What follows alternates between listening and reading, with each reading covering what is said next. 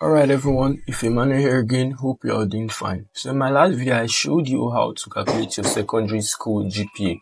And in this video, I'll be showing you how to convert that GPA to the Romanian grading system. Yeah. Alright, so let's see.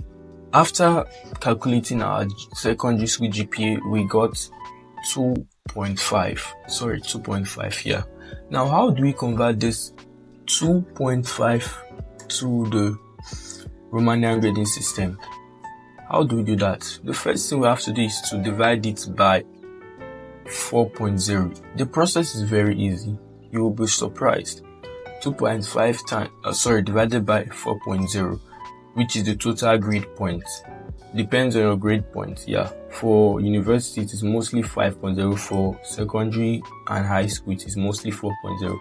Then times you have to multiply by 10 you have to multiply by 10 yeah.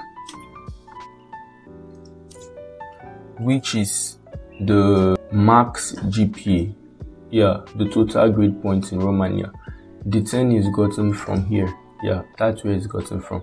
So you have to do the calculation after that. So let's say 2.5